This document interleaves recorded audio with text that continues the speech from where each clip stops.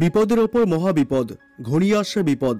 এবার সবচেয়ে বড় খবর প্রকাশ করল দেশের তাবর তাবর বিজ্ঞানীরা। মারাত্মক বিপদ বাড়াচ্ছে জলবায়ু পরিবর্তন। দ্রুত হারে গলছে বরফ, বাড়ছে সমুদ্রের জলস্তর। যে কারণে সমুদ্র গর্ভে তলিয়ে যাবে দেশের তিনটি রাজ্য।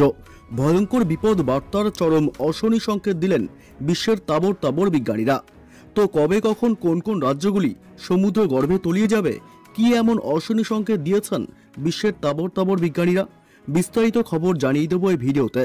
বিস্তারিত জানতে হলে ভিডিওটি অবশ্যই শেষ পর্যন্ত দেখবেন। ভিডিওটি শুরু করার আগে ছোট্ট একটি অনুরোধ। ভিডিওটিতে একটি লাইক করবেন, চ্যানেলটি সাবস্ক্রাইব করে পাশে আসা বেল বাটনটি বাজিয়ে দেবেন পরবর্তী লেটেস্ট খবরগুলি সবার আগে দেখার জন্য। সমুদ্রে বাড়ছে বিপদ, মহা বিপর্যয় ঘনিয়ে আসছে। ডুবে যাবে বিভিন্ন এলাকা, এমনই অশনি সংকেত বিজ্ঞানীদের। যতই দিন যাচ্ছে, ততই জলবায়ু পরিবর্তনের অবস্থার অবনতি ঘটছে।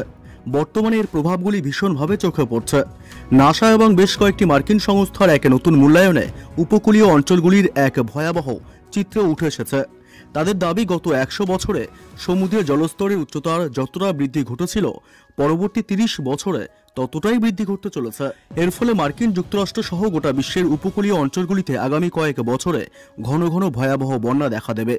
আর সবশেষে এলাকাগুলি চলে যাবে জলের নিচে। ভারতেও বন্যার ঝুঁকি ব্যাপকভাবে বাড়তে চলেছে।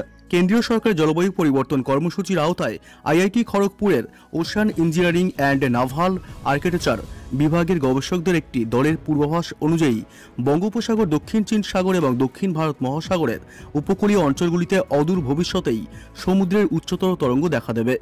এর ফলে উপকূলীয় অঞ্চলগুলিতে বন্যার হুমকি আরও বাড়বে। এতে করে পরিকাঠামোর ব্যাপক ক্ষতি, ভূগর্ভস্থ জলে সমুদ্রের লবণাক্ত জল মিশে যাওয়া, ফসল ধ্বংস সহ বিভিন্ন আর্থ সামাজিক ক্ষয়ক্ষতি দেখা দিতে পারে। মারাত্মক বিপদে আমেরিকা। এই শতাব্দীর অর্ধেক যেতে না যেতেই আমেরিকার ফ্লোরিডা, মেরিল্যান্ড, ভার্জিনিয়া প্রদেশের উপকূলীয় শহরগুলিতে প্রতি বছর বেশ কিছু মধ্যম শক্তির বন্যা হবে। যার ফলে ব্যাপক সম্পত্তির ক্ষতি হতে পারে। যেসব এলাকায় এখন বিশেষ বন্যা হয় না, সেই জায়গাগুলিতেও নিয়মিত বন্যা শুরু হবে। আর মাত্র দুই দশকের মধ্যে পৃথিবীর গড় তাপমাত্রা অন্তত দেড় ডিগ্রি সেলসিয়াস বেড়ে যাচ্ছে। মানুষের নানা রকমের কর্মকাণ্ডের জন্য। তার ফলে তাপপ্রবাহ, শৈত্যপ্রবাহ, ঘূর্ণিঝড়, অতিবৃষ্টি, ভয়াল বন্যা, খরা দাবানলের ঘটনা ও তাদের তীব্রতা এতটাই বাড়বে যে তার জন্য বিপন্ন হয়ে পড়বে বিশ্বের প্রায় তিনশো ষাট কোটি মানুষের জীবন।